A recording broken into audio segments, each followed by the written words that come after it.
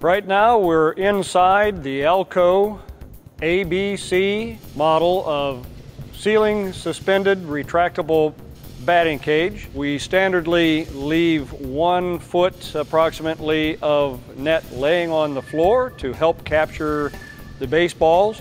For storage purposes, we lower the batting cage frame down to four or five feet off of the floor, lift up or take off the net from the frame, and then store the frame and net up to the roof.